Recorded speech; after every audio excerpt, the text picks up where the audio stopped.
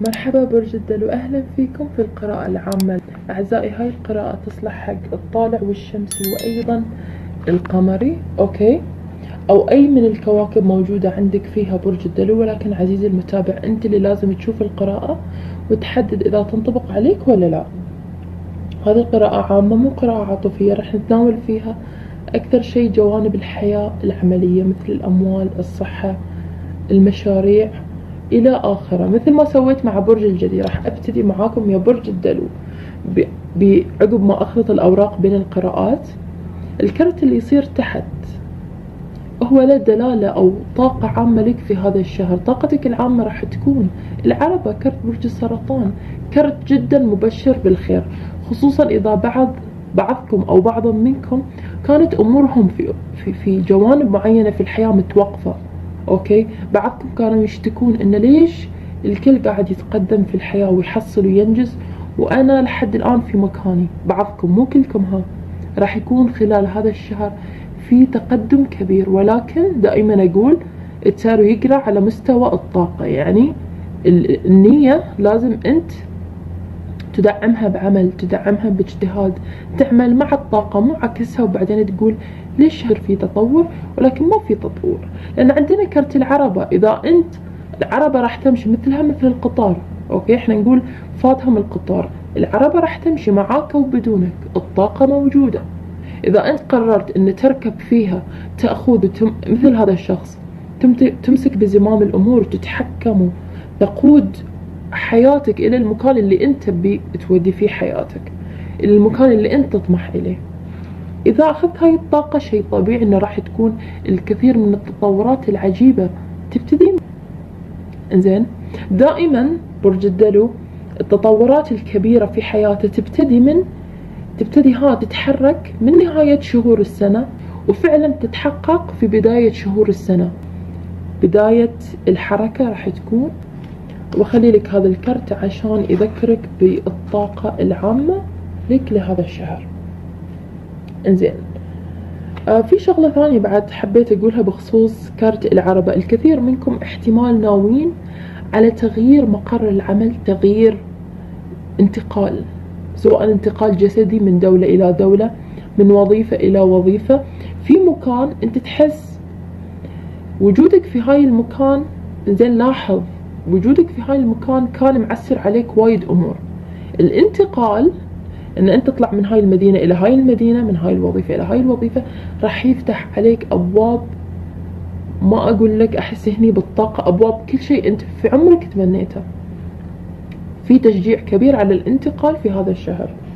خلينا نشوف الأموال يا برج الدلو. عشر الخماسيات. آه سوري عشرة الأغصان. هذا الكرت ترى مو سلبي بالمعنى الصريح. أم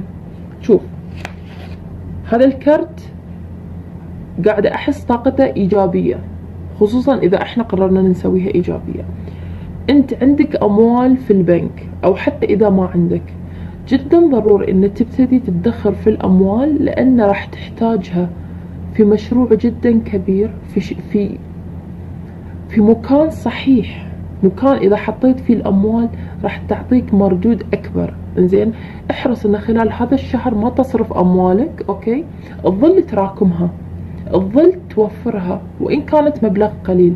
القليل لما تجمعه هني أحس راح يكتمل عندك نصاب راح يكتمل عندك مبلغ لمشروع كبير لعملية كبيرة أنت ناوي تسويها تحسين في شكلك makeover في شكلك. انتقال كبير يمكن حتى. عشان تسوي هاي النقلة اللي راح تفتح لك أبواب حياتك محتاج إن تجمع فلوسك تمسك فلوسك. okay؟ هاي الطاقة تقول لي كذي خله بس حب بعد كرت واحد حق الأموال. بسرعة كروتك قاعدة تطيح. بالضبط. ملكة الأغصان.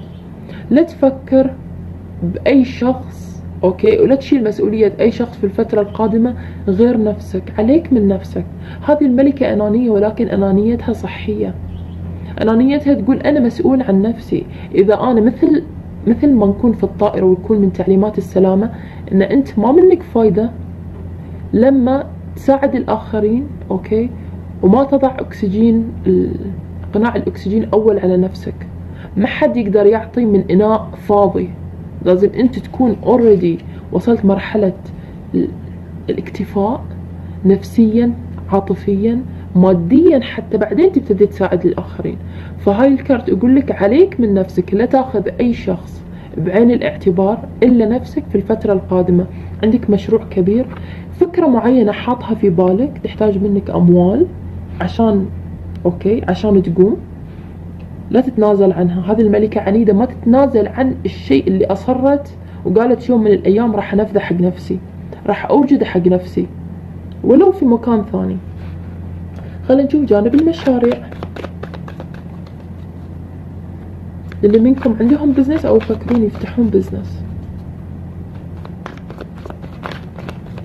كرتين انتقال. المزيد من التغيير. الانتقال من ألف إلى باء. okay؟ ولكن أحس انتقالك راح يكون جدا سلس. جدا سموث جدا بهدوء. ما بين الوظيفة إلى أنك تفتح مشروعك ما بين المشروع الأول إلى المشروع الثاني. مثلا عندك محل قائم okay وناجح يقوم. قلت لك هني في طاقة محتاج شوية دفعة زيادة يقوم وبعدين على طول تقدر تباشر المشروع رقم اثنين. سواء المشروع رقم اثنين بالنسبة لك هو مشروع توسعة تفتح فرع ثاني أوكي تدخل في مجال ثاني حتى راح يكون في انتقال جدا سهل ومرن ومريح لك. زين؟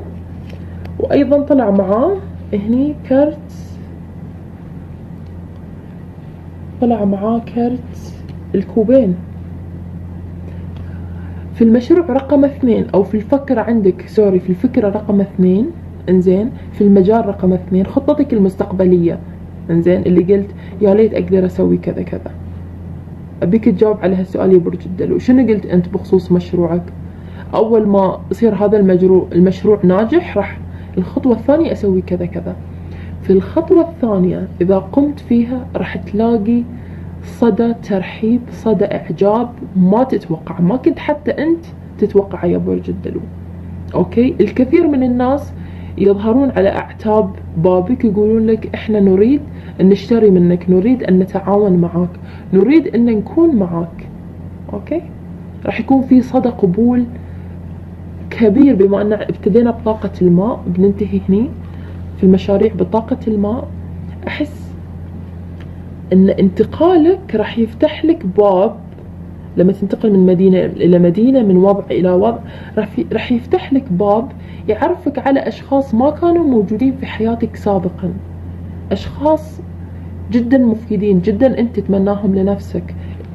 أشخاص السابقين أو الحاليين في حياتك يمكن شوية كئيبين متشائمين راح يفتح لك باب الرزق. فتحت باب عندك هنا. خلينا نشوف الدراسة. الدراسة حق برج الدلو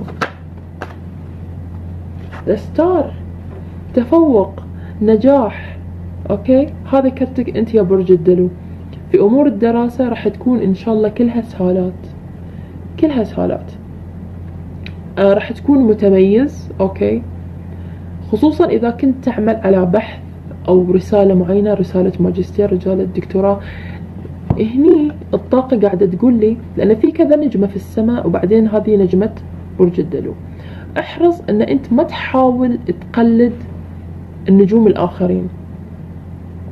مثلا شفت صديقك زميلك في الدراسة نجح عن طريقة اتباع استراتيجية معينة أو رسالته في الماجستير في, الدكتوراه كانت كذا كذا كذا. لا تحاول أن تتميز أو تحصل على التفوق عن طريق اتباع نفس طريقهم. مصدر قوتك. أنت يا برج الدلو أن تكون متميز. توجد طريقتك الخاصة لفعل الأمور. لا تسوي copycat copycat اللي هي طريقة إني أقلد. ابتعد عن طريقة التقليد. وتميز okay؟ في مجالك أنت الحين قاعدين قاعد يصير في طلب على طاقة برج الدلو المتقدمة المتقدمة عن الآخرين اللي تقدر تشوف تتطور أسرع من الآخرين. فأنت لما أنت تقلد بحث زميل لك أو تخلي زميلك اللي أقل منك okay؟ هو اللي يملي عليك أفعاله يملي عليك شلون تسوي بحثك. هني أنت قاعد تسمح باللي أقل منك اللي متأخر عنك إنه يقودك وهذا ما يصير. أنت متقدم. أنت هذا بعد الكرت يقول لك محتاج تاخذ أنت وضعية القيادة في أمورك في الدراسة. لا تظل تعتمد على الناس لأن أنت أساسا مو محتاج للناس. اتعاون معاهم ولكن لا تعتمد عليهم. خلينا نشوف هني الباحثين عن عمل.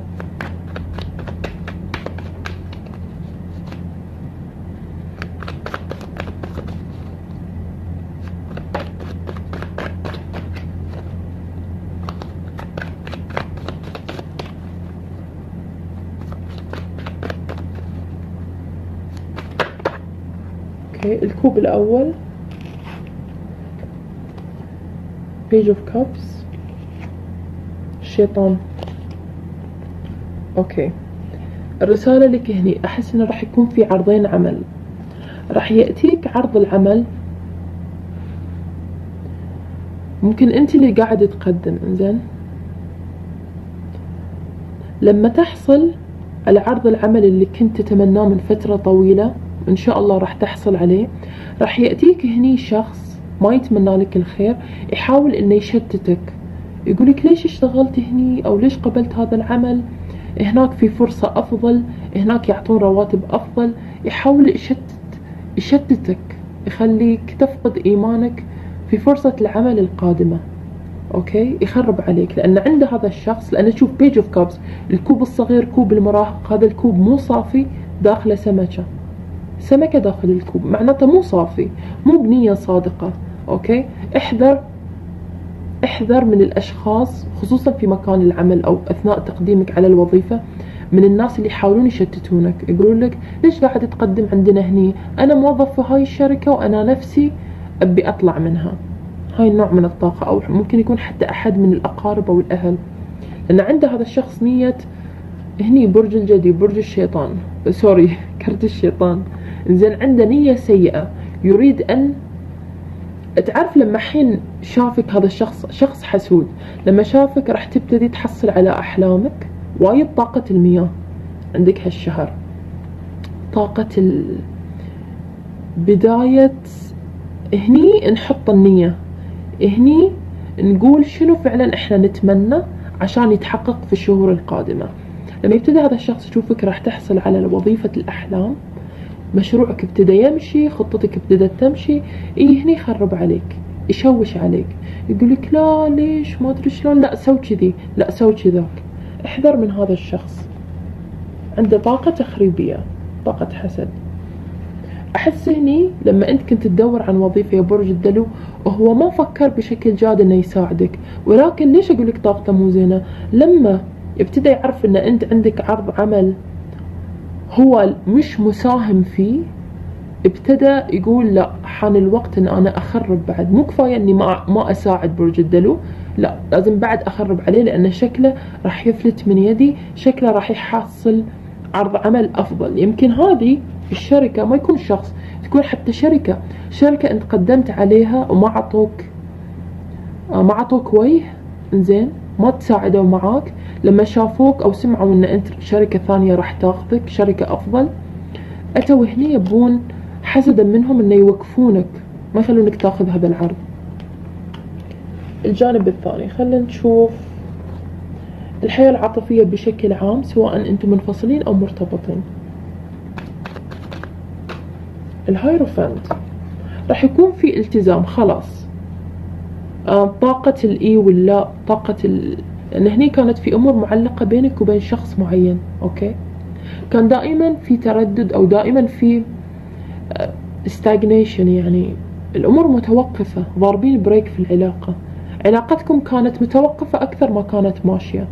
في الفترة القادمة هذا الشخص عنده نية الالتزام إنه خلاص آه، إحنا نقول يعقد الصفقة وينهي الصفقة ويغلق يغلق الصفقة اللي بينك وبينه. إنه في النهاية يصير في اتفاق يصير في تفاهم. يحط معاك النقط على الحروف. ويقول لك أوكي إحنا في السابق ما كنا متأكدين بس الحين لازم نكون على بينة يا برج الدلو. نكون مع بعض ولا مش مع بعض؟ تبيني ولا ما تبين هاي النوع من السؤال التحديدي. إنزين. اللي ما عنده شريك ينتظر قراءة مواصفات الشخص القادم في طريقك اللي بسويها بعد القراءة العامة إن شاء الله. نشوف الصحة. أوكي baby steps خطوات الطفل. أوكي. أم أنت قاعد تاخذ خطوات في المك في, في الطريق الصحيح. زين أشوف هني إن برج الدلو لأن عندك ملكة الأرض. أخيرا صرت تهتم بنفسك صرت تهتم شنو قاعد تدخل في جسمك وشنو هذا الشيء اللي قاعد تاكله يأثر على طاقتك على نفسيتك. We are what we eat. إحنا إحنا نصير كذي بسبب ما نأكله. إنزين؟ فهني قاعد تاخذ خطوات وراح يكون في جسمك يتجاوب معاك. إذا أنت قاعد تاكل أكل معين تريد تتخلص من مشكلة معينة تتخلص أو تخفف على الأقل من السكري من الكوليسترول من الكذا من تخفف من الدهون. جسمك راح يتجاوب معاك بس أنت لازم تكون حذر شنو تحط في جسمك. إنزين. أم هني إذا عندكم بعد أي مشاكل في البشرة أو مشاكل تخص تساقط الشعر النظر هذا كله يقول لك ما يحتاج هذا كله مو شيء الدكتور يقدر يحلك إياه عن طريق حبوب أو أدوية هذا الشيء يخص روتينك الغذائي نظامك الغذائي هو اللي ممكن يحلك هاي النوع من المشاكل تعرضك إلى الشمس الأكل الصحي هاي الأشياء. خلينا نشوف الأمور القانونية. إذا عندك أي شيء متوقف في النظام القضائي. ثمانية الأكواب. في شخص أحس هني إن في طرف كان يحاول أن يقاضيك أو أنت حتى كنت مفكر إنك راح تقاضي شخص. عندنا هني كرت العقرب كرت كرت الموت برج العقرب. تغيير مفاجئ. بغض النظر من اللي هني كان عنده نية أن يقاضي الثاني في آخر لحظة راح يكون في انسحاب. بس مو انسحاب بدون سبب. هذا الطرف أنت أو الخصم أدركتوا أن أمامكم قضية ما تستطيعون تربحونها في هاي النظام القضائي. عرفتوا مثلا أن الغلط عليكم أو الطرف الثاني عرف أن الغلط عليه؟ ففي النهاية قرر أنه ما يظل يسعى وراء هاي القضية. في رحيل مفاجئ لأن عندنا كرت الموت. أوكي؟ آه مشهورة مشهورة سريعة من المحامي إلى خصمك مثلا. يخليه في آخر لحظة يقرر أنه ينهي القضية القائمة بينك وبينه ويقبل مثلا بالتسوية. زين انتهينا من هاي الأمور خلينا نشوف يا برج الدلو شنو الطاقة اللي راح تحاول تتحداك أو تستفزك خلال هذا الشهر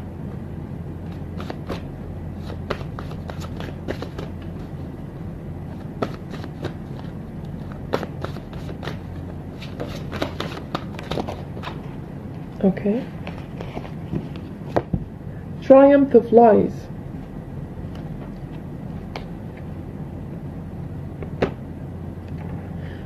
اللي راح تحاول تتحداك. طاقة تخص الكذب أو الألاعيب الألاعيب. مثل هني الطاقة اللي وصفت لك إياها بخصوص الباحثين عن عمل. زين شلون راح يكون في محاولة للتلاعب بك؟ أوكي؟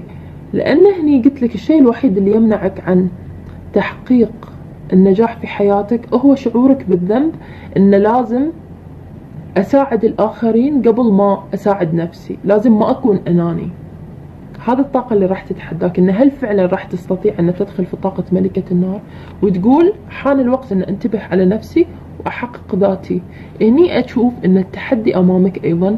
الآخرين اللي حولك محيطك دائما يحاولون يحسسونك بالذنب. أنت ليش غير؟ أنت ليش لحد الآن ما نجحت؟ أنت ليش لحد الآن ما تزوجت؟ انت ليش لحد الآن ما عندك أطفال؟ ليش أنت ما ترغب بالاستقرار مثلنا؟ أنت ليش غريب عنا؟ انت أنا برج الدلو الله خلقني مختلف. ما أختلف من أجل لفت الانتباه أو الدراما. أنا مختلف. أوكي؟ لا تخلي أحد يحاول يطلعك من طاقتك اللي أنت في داخل نفسك تحس انها هي صح عشانك. يقنعونك ان لا لا تروح هذا المكان لا تقبل هذا عرض العمل. أحس في إذا كنت ناوي أن تنتقل إلى وظيفة إلى مجال مختلف مدينة ثانية دولة ثانية راح في أشخاص يحاولون يحسسونك بالذنب ويمنعونك عن طريق الأكاذيب. الأكاذيب انه مثلا لا إن المعيشة في الدولة الفلانية صعبة عرفت؟ لأن بقائك حولهم قاعد يقيدك وابتعادك عنهم راح يحقق لك كل اللي تتمناه. خلينا نشوف الطاقة اللي راح تكون حليفتك خلال شهر سبتمبر.